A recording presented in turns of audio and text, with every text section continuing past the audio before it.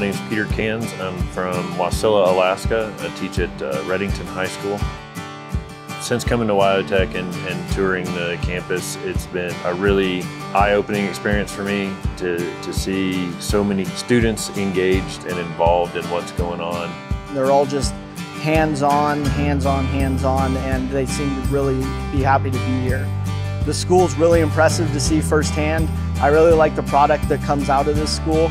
The facility is just beautiful. The equipment that I see all seems to be um, like new edge technology, and which is what our kids need. The amount of opportunity that they have to work on world-class hot rods and world-class engines and to be able to use the top of the line tools and, and trades and just to watch it all is, is really neat. I heard that Jim Mathis had bought the school and was running the school, I knew that the caliber and the quality of students that are coming out of WyoTech um, would be worth sending our students here, which I think is probably the most important thing as an instructor. If you send a student here, right, if it was your own child, would it be worth the time and energy invested, and would they receive that quality education? And emphatically, the answer is yes.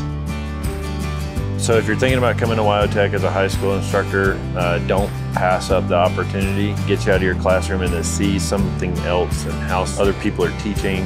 Uh, it gives you a great opportunity to network with people from around the country. WyoTech does an absolutely amazing job of rolling out the red carpet for us.